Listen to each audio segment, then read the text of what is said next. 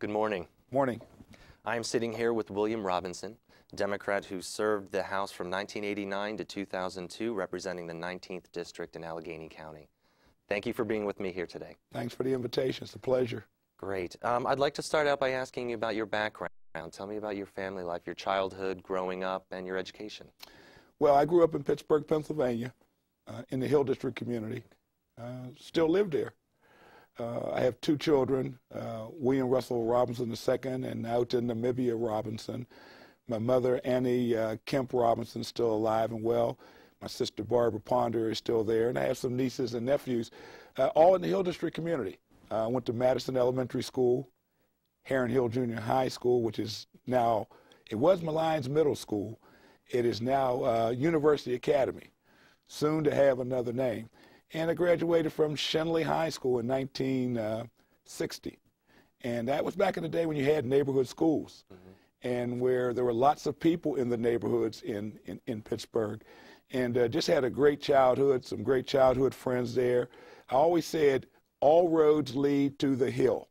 And it's right in the center of the, the city of Pittsburgh, within walking distance of downtown, within walking distance of Oakland, where most of the major universities are. Mm-hmm. And it was just a, a, great community to grow up in, and I had lots of fun. Oh, that's great.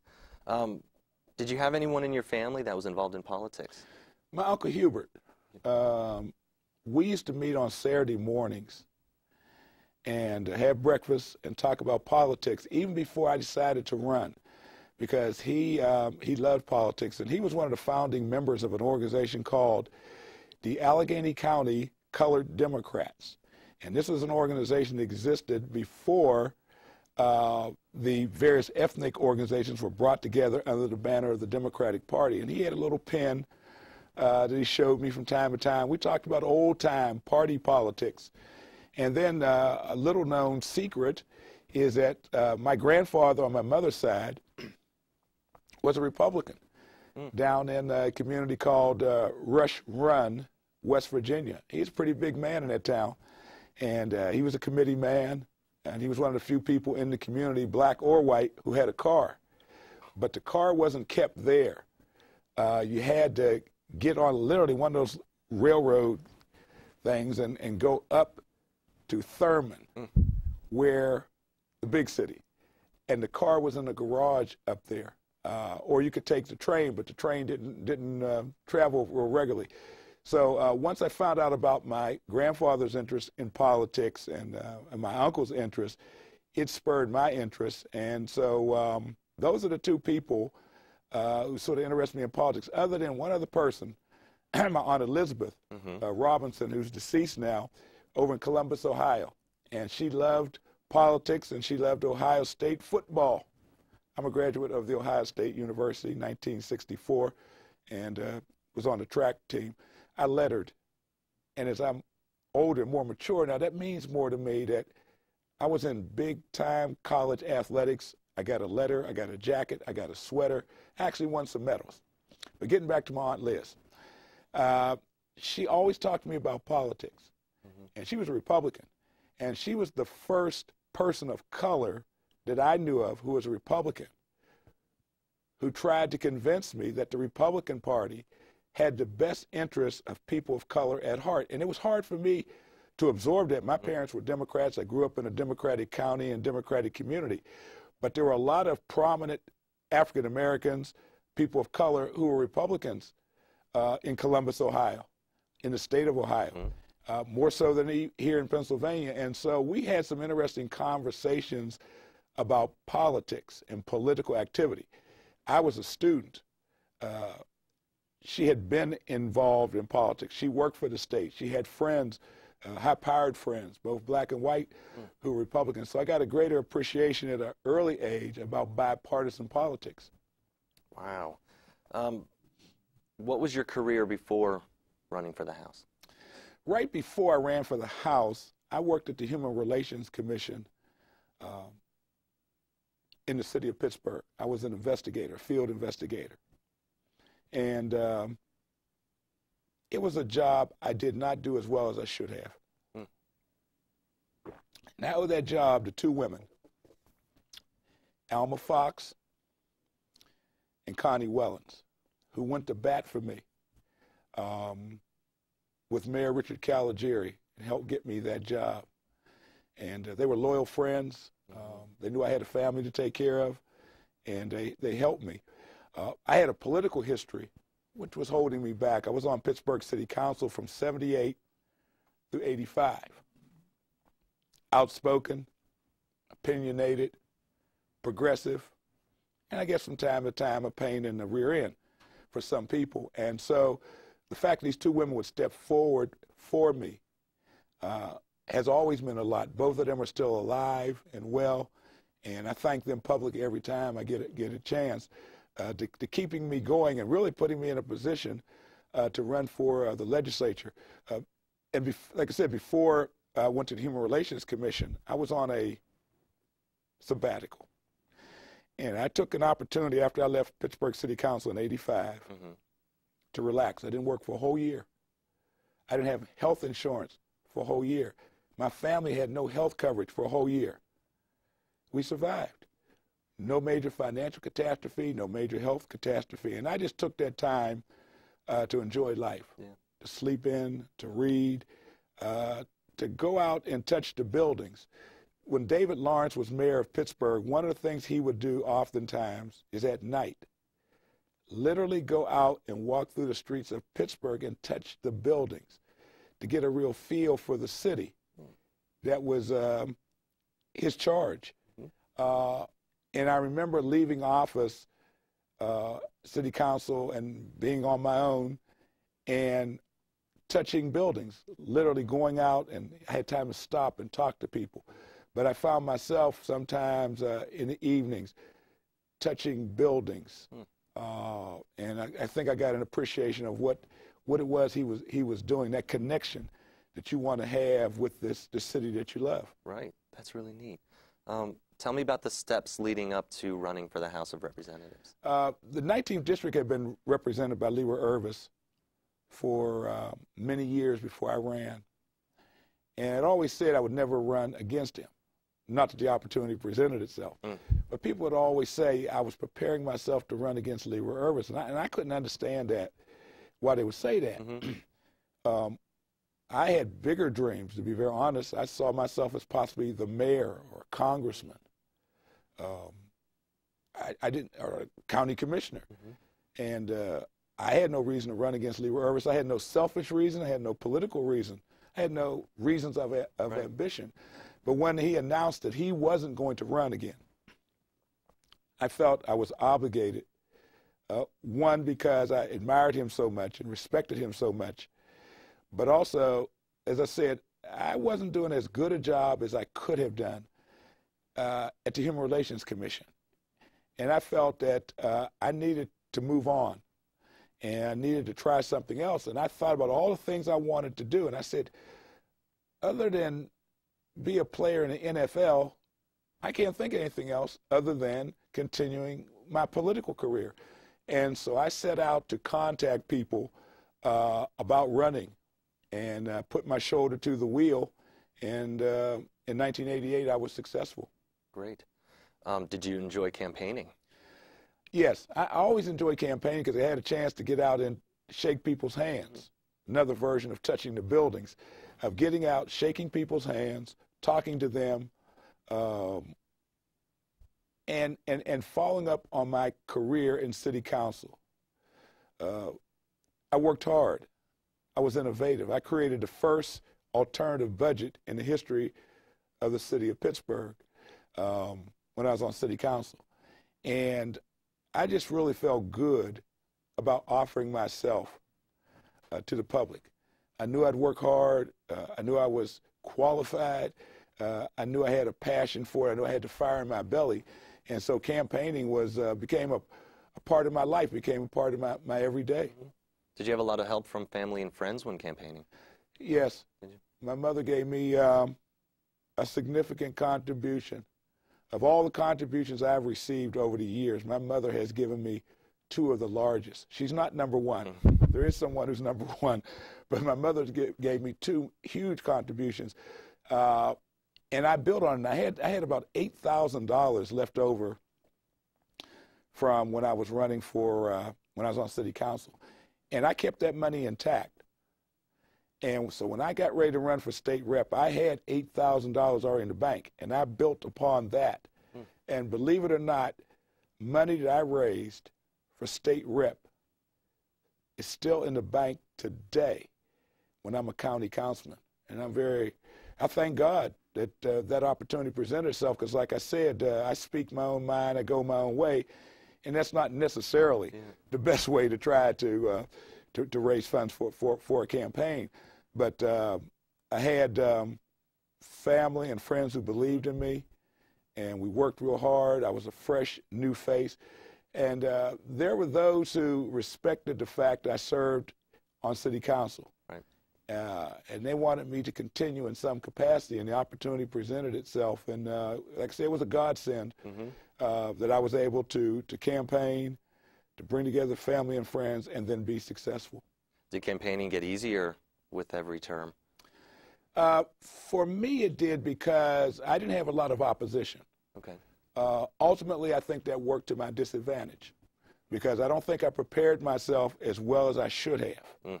I should have been preparing, been preparing for war in a time of peace. Um, I don't think my political skills were as good as they should have been. The governmental skills, the oratorial skills, and things of that type, I could do that. Had my staff well organized. But I think in terms of really building the political base, I did not do that. And that came back to haunt me. And when I really needed it, it wasn't there. Uh, but the campaigning, it, it never was a problem except I didn't build that base. And if I had to do it all over again, I would build a base. When I ran for county council, I took all the lessons I had previously learned. And the constituency is twice as big. It's over 110,000 people. Um, and I organized a little better. I organized like I was running for my life.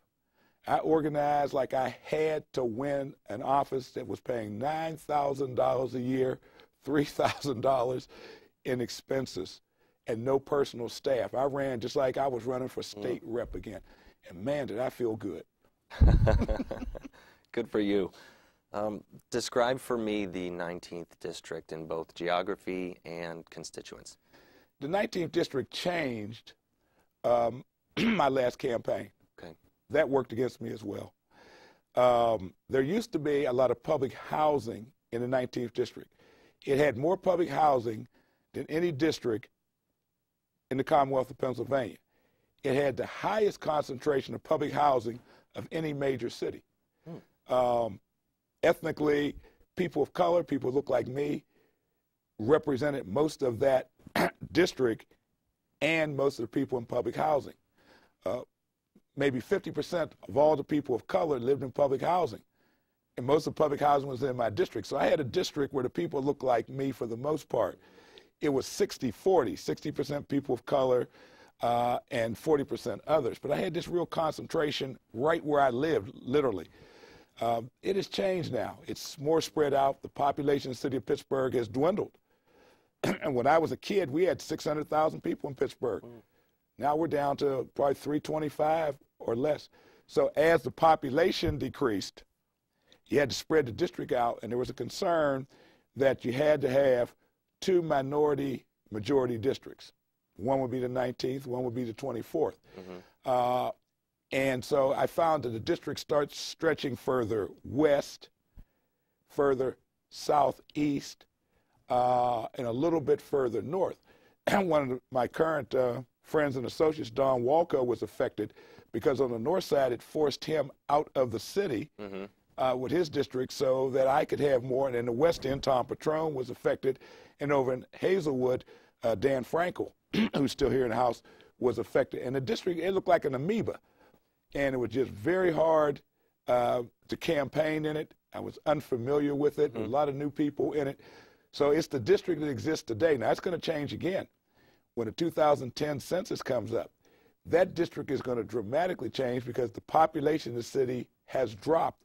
And if you're going to have two districts that are predominantly African American, you're going to have to really be creative yeah. because the African American population isn't like like in Philadelphia, where you have back to back to back to back districts that are represented by people of color. We don't have that in Pittsburgh. So you may find some of the other representatives more out in the suburbs than they are now and literally leaving the city and uh, Wilkinsburg uh, to whatever minority representation is elected. Yeah. What were some of the issues that, uh, that were big with your constituents while you were in office? Employment opportunities, mm-hmm. Educational opportunities. A lot of major construction occurred in my district.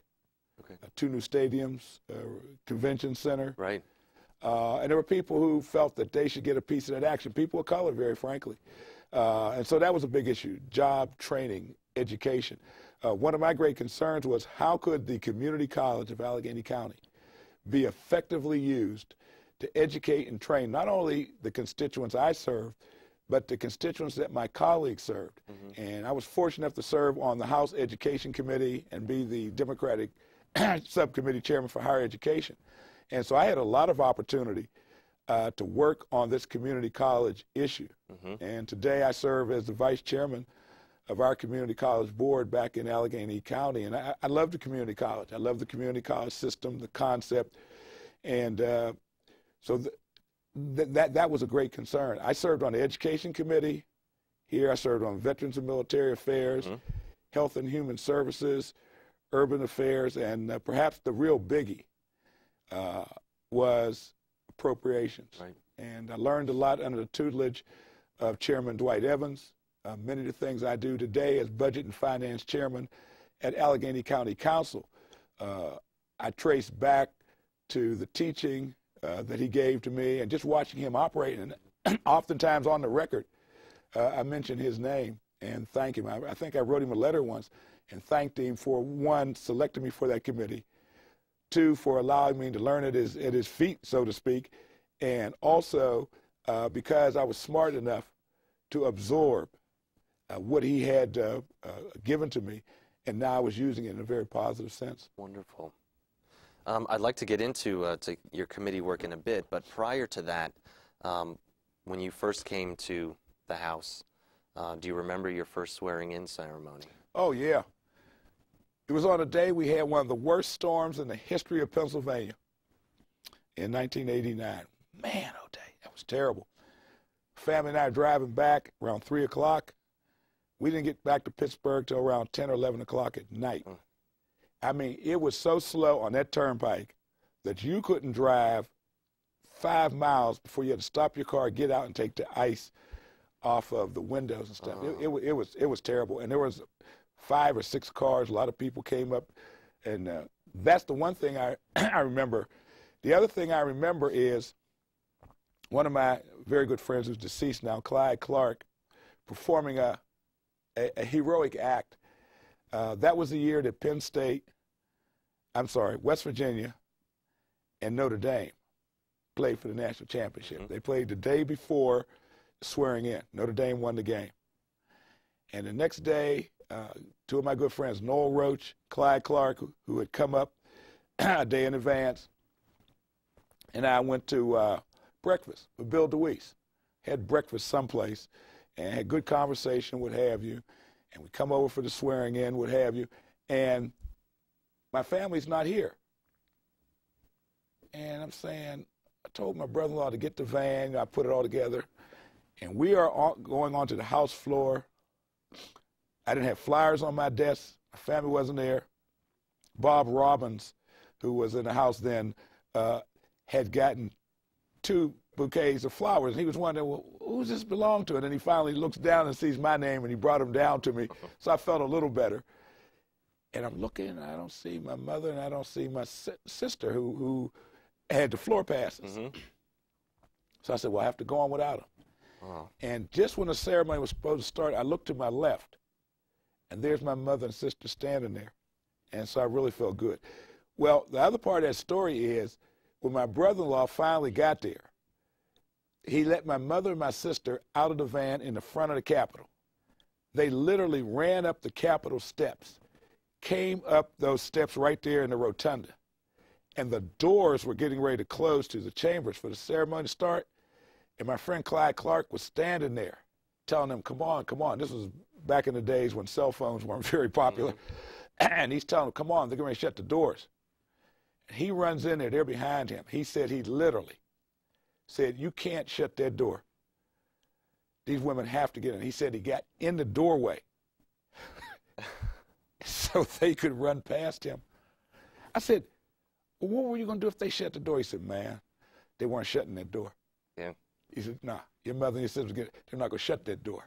And uh, we laughed about that uh, and, and had a lot of, uh, we had a lot of good fun that day. And I remember the, the little uh, parties that the members would have. Mm-hmm. And I remember just the camaraderie, the flowers on the desks. And uh, it was just a great, great day. It was like, for me, a, a rebirth uh, to replace a Leroy Irvis and to uh, be able to serve in the oldest legislative body of its type in the world and my family there. I just, I just felt great.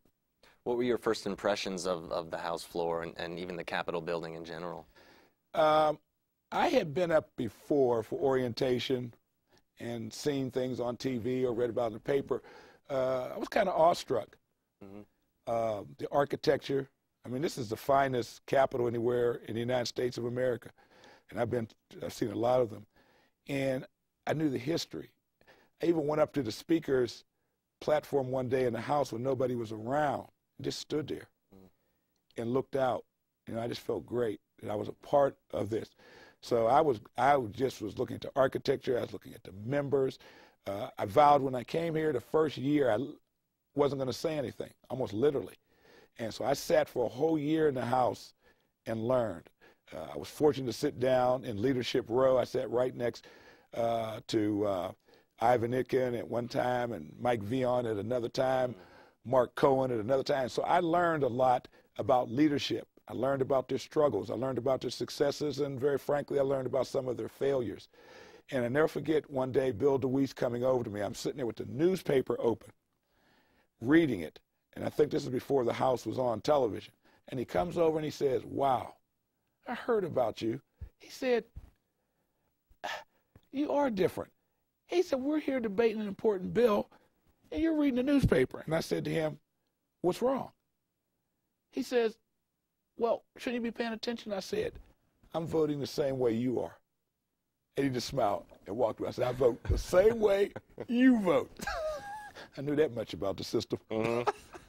Uh, Speaking of, of learning things in your first term, was there anyone in particular that you saw as a mentor that that uh, that you kind of latched onto? I I uh, spent a lot of time uh, watching uh, Dwight Evans, mm-hmm. talking to him, um, understanding the process. Because at a point, I wanted to be on appropriations, not because of the extra revenue or the perks, but I really had an interest in finance. Little did I know that one day I'd be the chairman of the finance committee or the budget and finance committee for Allegheny County Council mm-hmm. and responsible for almost an 800 uh, million dollar budget. But uh, spent a lot of time with Dwight uh, and uh, talked to him about a lot of different things. And so he's probably the main person. Uh, I had a, a, positive experience with Mike Veon and, uh, and, and Bill DeWeese. I learned a lot about politics for them. They're two of the best politicians I've ever met. Uh, they were very helpful to me mm-hmm. uh, legislatively. And believe it or not, uh, Matt Ryan and I developed a great relationship. He was the Republican Speaker of the House for a period of time when I was here. And Matt and I developed a good eyeball to eyeball relationship. And I never forget one time, Matt promised me something. And when it came time for the promise to be fulfilled, I brought it to his attention. He said, I don't remember that. And I told him where, where it occurred. And he stood there, and Roger Nick was standing next to him, his longtime aide. And he said, you told you, you, you tell you're telling me I told you. I said, Yes, sir. Yes, you did. He said, I'll take your word. He said, Roger will have it taken care of in a half an hour. And within a half an hour, Roger called me and said, It's done. And it was done. That was probably the most positive experience I had here in terms of uh, getting things done, mm-hmm. working the other side of the aisle, where someone forgot, this was something important, where someone forgot what it was they promised you. Mm.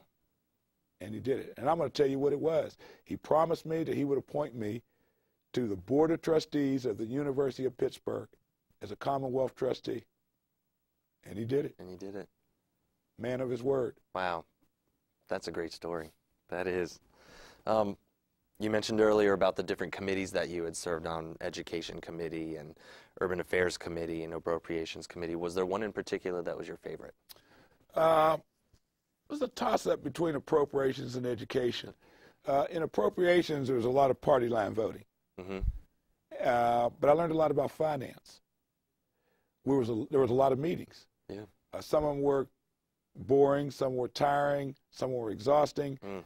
But there were more meetings for appropriation that actually got to the heart of the matter around here, which is money.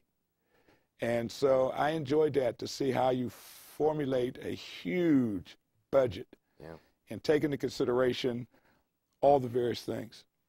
Uh, next would be education because I had a great passion for education, particularly higher education. Those are two assignments that I aspired to when I got here. While the other assignments were meaningful and I enjoyed them, I spent most of my time concentrating on education and appropriations. Hmm. Great.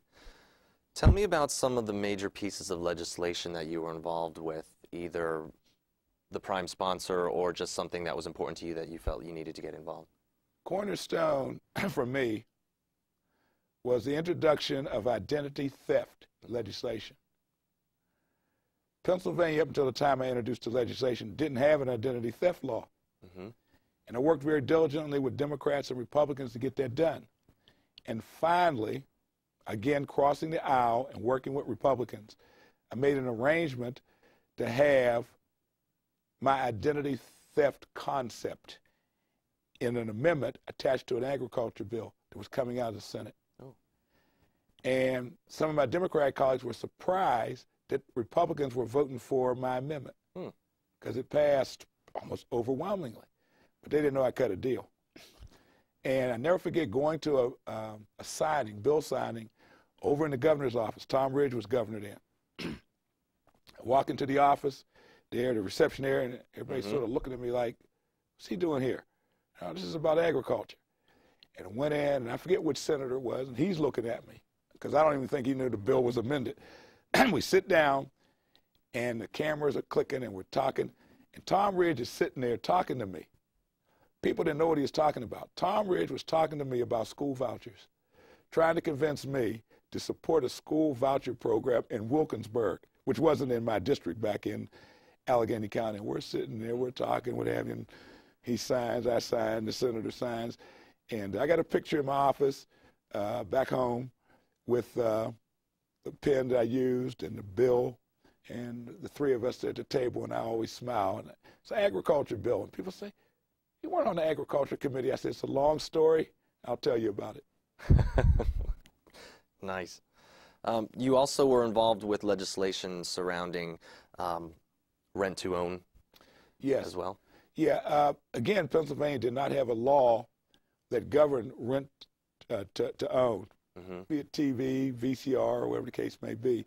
And I got very much involved in that, helped shape some legislation for Pennsylvania. and it became sort of like landmark legislation because there were other states that wanted to get involved. You know, these are the kind of things I like to do. Is the cutting edge things, things that other members weren't doing. hmm Sometimes you make friends, sometimes you make enemies when you do that. Uh, probably the biggest legislative effort I was involved in here was a, package of bills that Representative Andrew Carn and I uh, worked on. He was from Philadelphia, called Carn Robinson 1, Carn Robinson 2.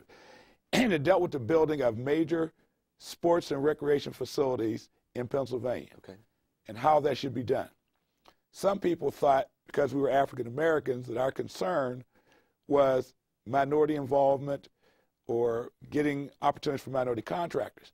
But the legislation never spoke to that. Andrew and I didn't speak to that. It was about whether or not the state should grant or loan money to entities that wanted to do business with us to build these facilities. In Andrew's case, there was a proposal to build two stadiums in Philadelphia. In my case, there was a proposal to build uh, two facilities in Pittsburgh. And Carn Robinson 1 and 2 spoke to how the Commonwealth's portion of that financing should be handled. And I never forget uh, Governor Tom Ridge uh, when the bills, uh, the financing bills finally passed without Carn Robinson one or two, because we were not successful in getting that in. We were successful in changing the grant to what some people called a groan, a hybrid of a grant and a loan. And he said that Carn Robinson 1 and 2 uh, was very much instrumental in changing the way the Commonwealth was going to fund mm. major stadium projects. And while none of our legislation passed, uh, the administration did decide to change the process for making that money available. And so that was probably the biggest and best legislative effort because there's a lot of politics, mm-hmm. Uh, a lot of horse trading, a lot of back and forth. We had some Republican support. I never forget talking to uh, Bob Casey, who was then the Auditor General, and Barbara Hafer, who was the Treasurer, about their help in this regard in terms of uh, utilizing Commonwealth money. And Andrew and I traveled all across this state talking to people, uh, there must have been 10 or 12 bills in each of those packages, Carn Robinson 1 and 2. And I felt very good about that. Uh, and that, that, in many respects, probably highlighted my interest in spreading mm-hmm. the wealth, spreading opportunity. And I can really relate to President elect Obama talking about spreading the wealth. I know exactly what he's talking about mm-hmm. creating opportunities for other people and making sure that we're leveraging public dollars to their maximum use. Wow. Another issue that uh, that we found that you had um, addressed several times was on urban blight. Um, was this a problem um, in your particular district? Um, was it constituent based, or was it something that you just thought was necessary to to uh, address? Uh, in my district, I had a lot of vacant vandalized and abandoned mm-hmm. properties. And I felt that one thing I could do was follow up on the interest I had when I was on city council. And that is take vacant, abandoned, vandalized property, mm-hmm. turn it over to individuals or community groups and organizations for a dollar, a minimum fee, and help them rehab it. Yeah. Uh, and so I saw a great opportunity here at the state level to help communities all across the state. Mm. In the process of doing that and working very hard on blight reduction legislation. I ran smack dab into eminent domain. This whole concept that government can come in, take private property for a public use. I learned more about eminent domain than I knew I could learn. Mm-hmm. One, I learned that one of my predecessors, the Honorable Homer S. Brown, who was the first African American in the legislature, had worked on this issue and had put in place essentially the eminent domain law in Pennsylvania that affected what was going on in Pittsburgh around the building of the stadiums and some, some other things. And I wrote an article with the help of Mike Herzing here uh, in the House called uh, Redevelopment Redux. And it was a, a, a, like a history of this redevelopment law and its impact in Pittsburgh and what I was trying to do. And then um, I suggested that we change the eminent domain law in Pennsylvania, which has been changed. Uh, Kathy Manderino, I believe, is still here in the House. She worked on this issue uh, to change the way governments take private property. My position was government should not be allowed to take your private property so that a Walmart or a Home Depot can have a parking lot. If these companies want to go into business with you, that's what they ought to do. They should not be able to use government wasn't necessarily a very popular idea that I was I was promoting, but across the country there was this interest in trying to make the eminent domain laws more user friendly for people who had private property that might be taken. There's a court case that uh, relates to Daniel Webster, uh, great attorney, former attorney, uh, and it relates to uh, Dartmouth College in New Hampshire. And he won a case before the United States Supreme Court, I believe it was in 1803. And his position is of what good is it going to be for the state of New Hampshire to take over Dartmouth College? Mm. And he won the case. Uh, he said there was no good public use. And I went back to that case and, and learned some history about eminent domain and how it has historically been used and tried to find a way to update our eminent domain laws here in in, in Pennsylvania. And that was a great, great learning experience. I talked to a lot of smart people about it. And uh, I, I, believe that what we do now in Pennsylvania around blight reduction, in some measure, relates to my efforts here in, in, in the legislature. Great. Minority issues were also important to you during your, your term. Why do you think having an Office of Minority Health Affairs was necessary? Uh, this was something that the late uh, Representative David Richardson had worked on. He was out of out of Philadelphia, mm-hmm. And uh, Dave always felt that if we were going to reduce the incidence of negative health in the communities across Pennsylvania, that we need to look at those communities where these incidents were very high, and unfortunately, they were very high in communities of color. And I looked at some other states who had uh, attempted this, some states that had put something in place. Mm-hmm. And I thought this would be a great thing for Pennsylvania and uh, worked diligently to make it happen. Uh, under my watch, it, it, did not happen, or under Dave's watch. But I still believe this is a valid way of zeroing in on the health concerns of people of color in this Commonwealth who unfortunately have some of the worst health conditions of any population group. But these are health conditions that can be uh, addressed, problems that can be solved. But I think we have to concentrate resources. We have to concentrate people. We have to concentrate money yeah. in getting that done. And so I dedicated myself uh, to that. And some of those uh, negative indices were in my legislative district. So I had a personal interest in terms of the people that I served. Yeah. How was working with the um, with leadership, um, whether with the leadership or, or when you had to go against the leadership? And, and did you ever think about becoming a leader?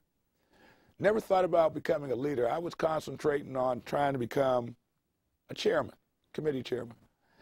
Um, when I came here, Bill DeWeese and Mike Veon and uh, others were in the process of really building their career in the House in terms of, of leadership. Mm-hmm. Uh, Jim Manderino was still the Speaker at that time, Bob O'Donnell uh, was, I believe, the majority leader. Uh, and Ivan Itkin, Mark Cohen, uh, Jeff Coy were some of the people, and Dwight Evans were in that mm-hmm. Democratic leadership. And I worked very well with them. Um, my voting record probably would indicate that, like most members in our caucus, we voted with our leadership. Mm-hmm. And never forget Leroy Irvis telling us something when he left the House. And he spoke to the Democratic caucus. And he said, on procedural matters, follow your leaders.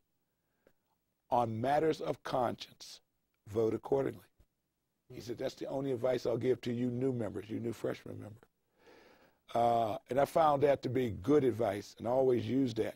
On procedural matters, uh, what you might call caucus matters, we're trying to drive a caucus agenda. I always supported uh, my leadership, but on matters of conscience, uh, I voted accordingly. Yeah. How do you feel about the seniority system? Uh, it was working to my disadvantage when I got here. and before I left, it had not worked to my advantage. Uh, I'm figuring if I was still in the House, I might be ready to be a chairman now. Mm-hmm. Uh, I came here when Democrats were in the majority. Uh, half the time I served, half of those 14 years, Republicans were in the majority, and half that time, Democrats were in the majority. So I never moved up very much. I came in a very big class, a class of about 28, 29 Republicans and Democrats. My last name begins with an R. And there were a lot of people in front of me in my class on the Democratic side whose names um, began with letters that came before R. And then you had all the people who were here before you got here. Yeah.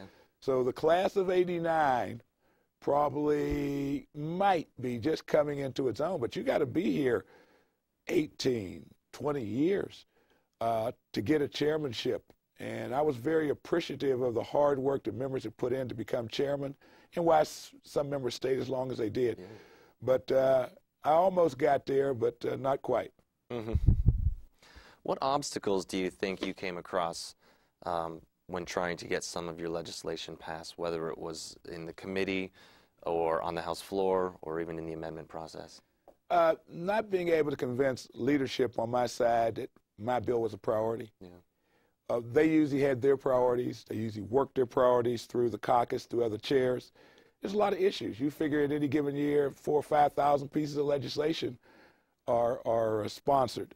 And uh, I was a sponsor or a co-sponsor of a lot of that legislation. but a very small portion of it ever gets onto the floor, much less passed. And so trying to get leadership, be it Republican or Democrat, to support what you want to do is difficult.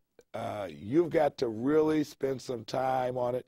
I saw several members become frustrated with the slow pace in the House, and they stayed one or two terms, and they went and did, did something else. Ken Lee came into the House, I believe, when I came in 89. He stayed one or two terms, and he just said, I'm going to go back to being a lawyer. I, I can't get anything done here. I never felt I couldn't get anything done. I knew it was going to take time to get it done. I knew you had to wait for your opportunities. Mm-hmm. And also knew that the amendment process sometimes was your best way of getting something done, which was the case for me with the, the identity theft right. law. There's the identity theft law uh, growing and germinating in an agriculture bill mm-hmm. because I was able to make an arrangements across the aisle to get an amendment passed. Right. Do you think it was, uh, I don't want to say easier, but was it, was it better or even more fun, I should say, um, to do more work in the committees or to do actually be on the House floor during session days? For me, on, on the House floor, I like the excitement. I like the debate. Mm-hmm. Um, like I said, I sat down in leadership row, so I was sitting down there with the leaders, so I got a little different perspective than others. I was hearing and seeing things that other members, uh, certainly on the Democratic side, were not hearing and seeing. Uh, the committee work uh, was kind of uh, tedious. It was thorough. We had great staff.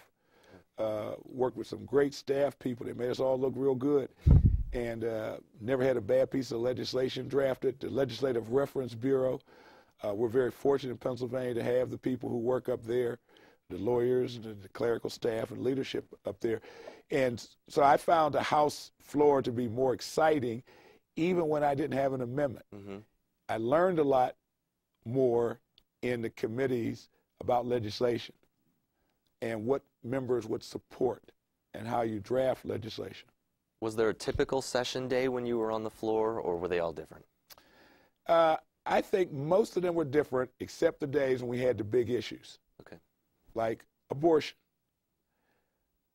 uh, tax increase, pay raise, um, things of that type, tight budget years.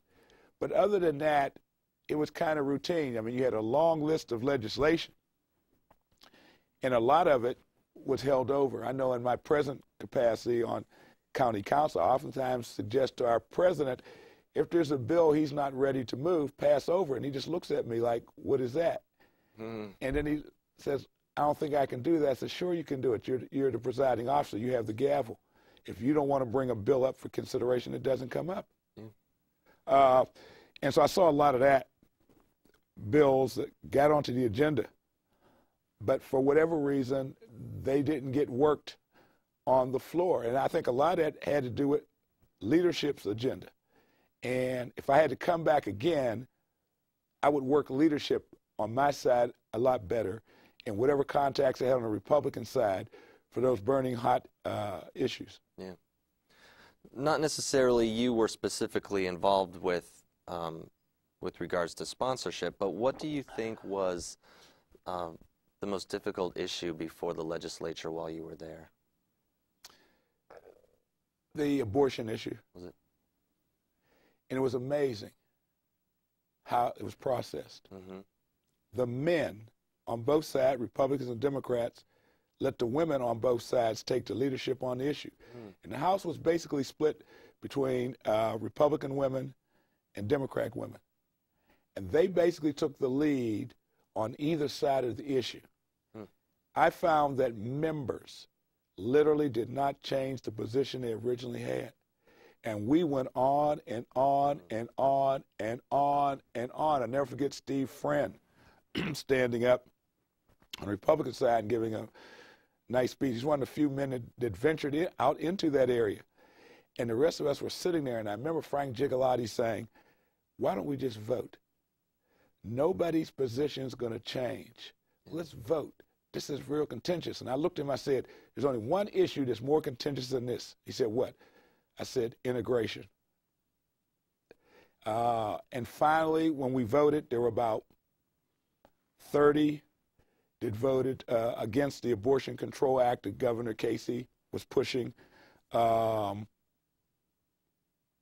and that was the same 30 Yeah. that start that start out. Others went ahead and and and supported it, and uh, that probably was the most contentious uh, issue, even more contentious than than some of the budget votes. And I guess it's because members knew how personal it was, how inflammatory it was. But I thought it was interesting that the men sort of decided let the women Yeah. handle it. Yeah. Did you see many changes in the House during your time there? Yeah, I, one of the things that Bob O'Donnell did, I thought, was really professionalize our staff. He took them to a new level, uh, a new level of accountability. Uh, there was a gentleman by the name of Al Colley, who's who's deceased now, uh, who had responsibility for a lot of the administrative work in the House. Al was a great guy, and uh, he would help you work through what Bob O'Donnell, as Speaker in particular, wanted to do. And I think that's Bob's lasting legacy, is he took us to a new level in terms of computerization, in terms of personnel, uh, in terms of uh, the kinds of support systems that members needed that made sense, uh, that we could afford. Uh, I think in terms of how we managed our finances uh, in all the caucuses. And to some extent, uh, when Bob raised the questions of pension benefits and a pay raise, some members felt he was being disloyal to the Democratic caucus, and uh, he didn't. He wasn't reelected Speaker. Yeah. Uh, that's when Bill DeWeese was uh, elected Speaker on the Democratic side, and I'm sure that hurt Bob a lot. But uh, he did a great service to the people of this Commonwealth by professionalizing the House of Representatives. One of the changes that we see today is uh, uh, the technology advancement. Um, there are laptops on every table. There's the uh, the continual video feed of, of the of the sessions. Do you have an opinion on, on, on if that's a good thing? I think it's great. Every legislative body I've served in, Pittsburgh City Council, Allegheny County Council, Pennsylvania House of Representatives, has gone through a technology change while I was there. And that main change has been more information and getting on TV, Yeah. uh, letting our constituents see us. And there's always this apprehension that if people see us, somehow they won't appreciate us. And I always felt that we needed uh, to let people see us. We needed to do the people's business in public. If you're sitting there reading the newspaper, as I often did, have a good reason. Mm-hmm. But there's no reason to pretend that all the time we're spending here is serious. Sometimes it's not serious, and sometimes we make mistakes. And the fact that you make them on television probably is no big deal. And I found that most members, wherever I've been, they get comfortable. They get back to taking care of business. They don't say anything they normally wouldn't say or do anything they normally wouldn't do on s- most occasions. uh, but the laptops, when I was here, laptops were just coming in. Yeah. And right before I left, uh, you know, you have this laptop here and you're working through it. When I was on city council and now I'm on county council, we don't have and did not have that readily available. You can get a laptop on Allegheny County Council, but it's not plugged in officially to your work there at your desk. Members don't bring their laptops if they have, and all members don't have them, uh, to, to, to the desk there and work. We have computers in our offices, uh, but some members uh, either don't want a laptop or don't feel it's necessary. But I think here in the House, that was that was just a great uh, a great uh, move, and uh, again, a tribute to the leadership on both the Republican and Democratic side uh, that they wanted the legislators to be able to serve the constituents better. Yeah. How was your relationship with, with the media, specifically in your own district? Uh, I thought it was good. Um, I felt there was one paper that uh, didn't treat me very well, but I didn't expect them to. Okay, I had been at odds with them on a couple issues, but uh, I gave every media outlet the same opportunity uh, to interview me or get information f- from me. Uh, the New Pittsburgh Courier was particularly uh, open to me writing a weekly column called Bill's Book. And Mike Herzing uh, on the staff here in the House worked with me every week on that. Uh, I did a radio program. Bob Klein and others uh, here worked with me on that. Did a uh, television program twice a month right here in this studio. And so I got out to the media. I got out to the public. Uh, I was always sending out press releases. I never forget uh, in a campaign, one of my opponents accused me of only sending out press releases. I told somebody I said, I'm, I'm, I'm building my archives there you in go. advance. But uh, I thought I had a very positive relationship with the media. I had uh, infrequent press conferences. I didn't want to waste the media's time True. pumping my ego. But I, I sent out a lot of um, press releases, but I used the media center uh, to have press conferences occasionally. Uh, Carn Robinson 1 and 2, we used it extensively. Uh, and occasionally I came up with some of my colleagues on some other uh, bills. Great. What would you say was your favorite aspect of the job here in the House? My favorite aspect of the job, I think that, that my favorite uh, part was being on the floor and being able to vote, and being able to vote uh, my conscience of knowing that my constituents had confidence in my judgment, Yeah. and that I could vote whatever way I wanted to. That I wasn't really constrained by leadership.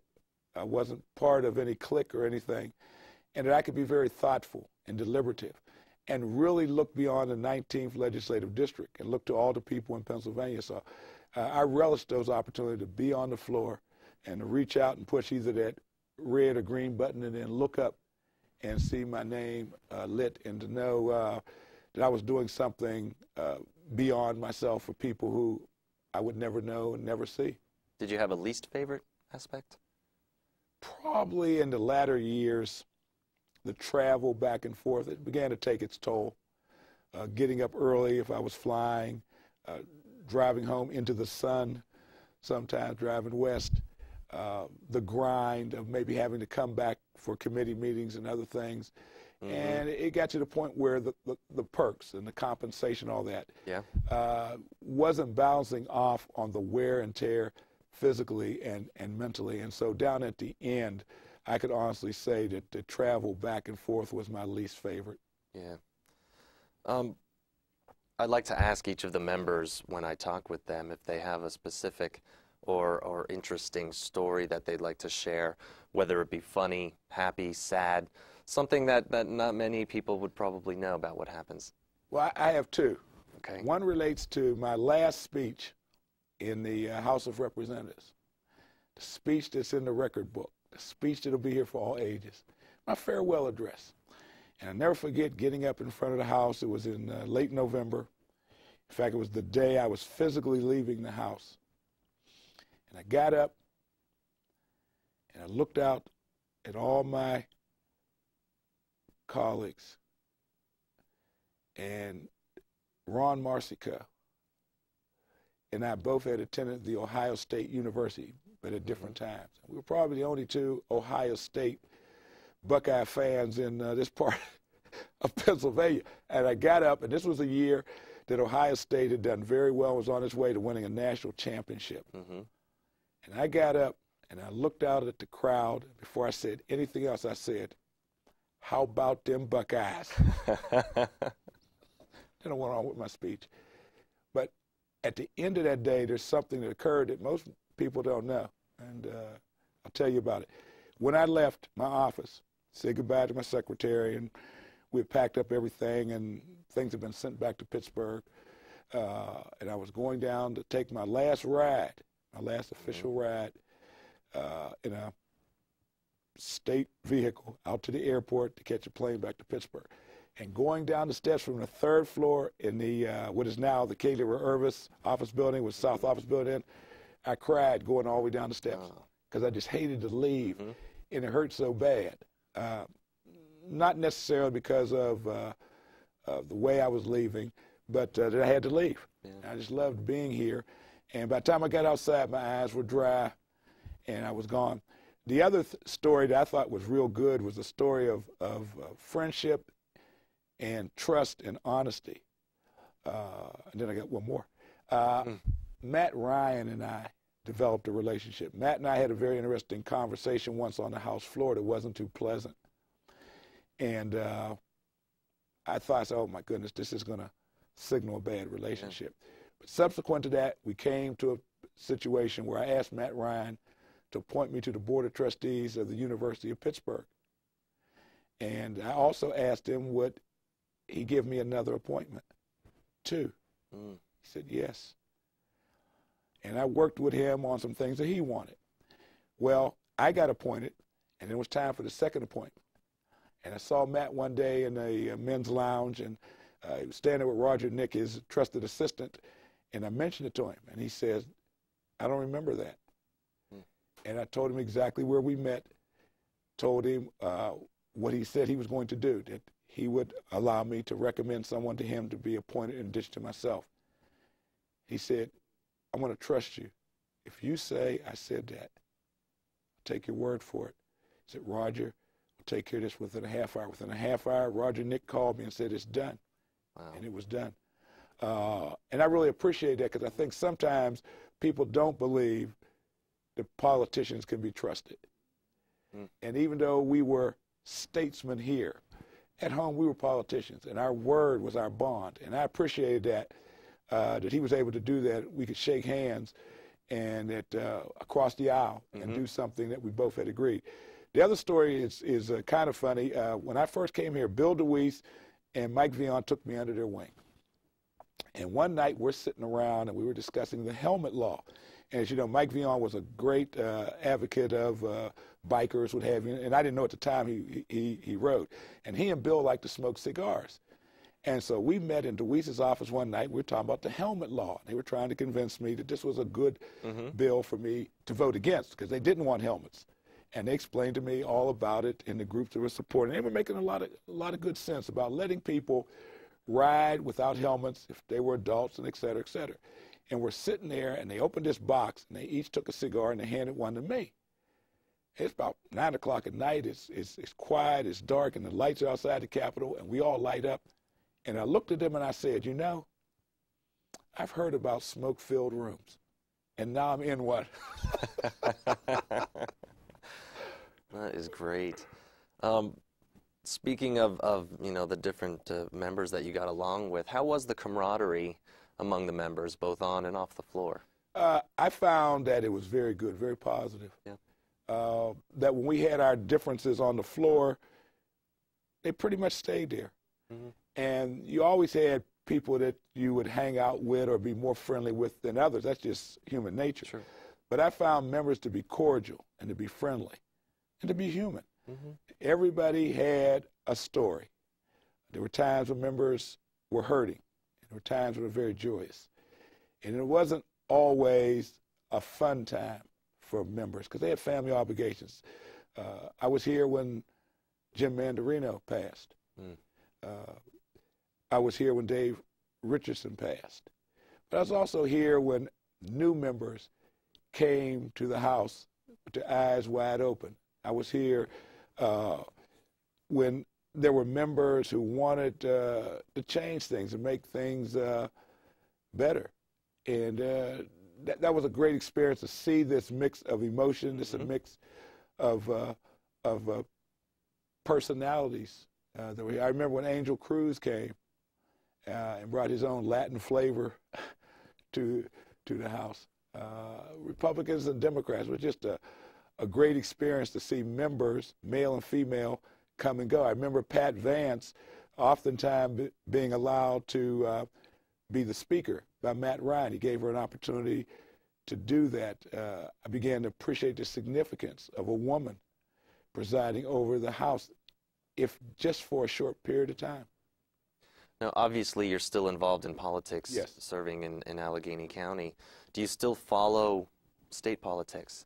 Oh, yes. The last time I was sworn in, I was sworn in on a Bible mm-hmm. that I received as a member, and I was sworn in here too. And I remember saying that this Bible represented my connection to the House of mm-hmm. Representatives, that I was still a part of the House of Representatives in Harrisburg, and I was connecting it to being a part of a new and budding institution, County Council, which is eight, nine years old, and there's an institution in Harrisburg that's almost 400 years old Mm. that I was a part of, and I just felt so so good about it. I could, this Bible was a, was a connection, and I, I follow all the politics. I follow uh, the good, the bad, and the ugly. I follow the members. Sometimes I see former members uh, back in Pittsburgh, And uh, it's a, a unique uh, fraternal organization uh, for those of us who have been in the House. Very few people in this Commonwealth have had an opportunity to serve here. And it's very sobering when you get your two minutes. And you get your two minutes when you're deceased. And the Speaker informs the House of your demise. They read an appropriate resolution. And then there's like that moment of silence. And then we go back to business. Mm-hmm. And occasionally a member will say, Who was that person? Do you remember them? And sometimes there's no one there that served with them. And sometimes there are those of us who have served with someone who, who passes in office. But it's uh, a solemn occasion, but it's, it's the highest tribute that we can pay to former members is to uh, give them that moment of, uh, of silence. Mm. How would you like your tenure in the House to be remembered? Uh, I'd like to be remembered as a guy who really wanted to do the right thing, mm-hmm. who was willing to work with anybody, willing to work with everybody, who was full of life. A legislator who actually wanted to make a mark, who wanted to make a stamp, who wanted to leave a legacy, mm-hmm. uh, who wanted to do some big, great things, not just for himself, for the people of Pennsylvania. Uh, that he wanted to do well by his district, uh, that he wanted his constituents to say he worked hard, he had our interests at heart.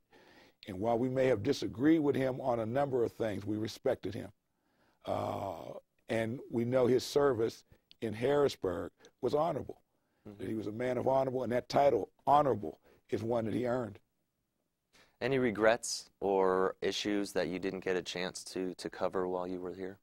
Uh, wish I could stay a little longer. Yeah. Uh, I figured maybe one or two more terms, uh, then I probably would have been ready to go. If I could have made 20 years, mm-hmm. which would have been three more terms, maybe I'd have been a chairman. Uh, but I just wanted to stay a little longer. Probably would have liked to have left office winning an election. I left office after losing an election. Uh, that hurt. Uh, but other than that, um, no regrets. I had a great time here. I served well. I served honorably. I'm just glad I was a part of this. And uh, I'm just glad that I met so many nice people here, staff, as well as members, lobbyists. I had a great experience with them. They were very helpful. Final question for you. Uh, what advice would you give to someone who's interested in becoming uh, um, a politician, or specifically even someone who wants to be a, a representative? Uh, I would say that what they really need to do is ask themselves, are they willing to commit 24-7 hmm. to being a politician, to being an elected official? Are you willing to go to all the community and neighborhood meetings? Are you willing to keep a smile on your face? Are you willing to absorb not so kind comments? Can you refrain from retaliating against people, getting angry with people, being selfish? Uh, can you stand the grind? Because it's 24 7. How long can you stand it? Because it's going to take its, its toll. Yeah. And is this something that you truly love? I think the most successful politicians and elected officials love what they do. And when you stop loving it, it's time to leave it. Uh, if you have that opportunity. So I would advise them to, to do that first and then to prepare themselves, not so much in knowing all the issues, but prepare themselves around their own values, their own morals, what you will and will not do, areas where you need to grow. Uh, my motto is cooperation with others, competition with self. Hmm. And when the going gets tough, it's no quit and no excuses. Nice. Representative William Robinson, I want to thank you very much thank for participating in our oral history and for sharing your stories. And good luck in everything. Thank you very much. Thank you. Excellent. Thank you. Thank you, sir, very much.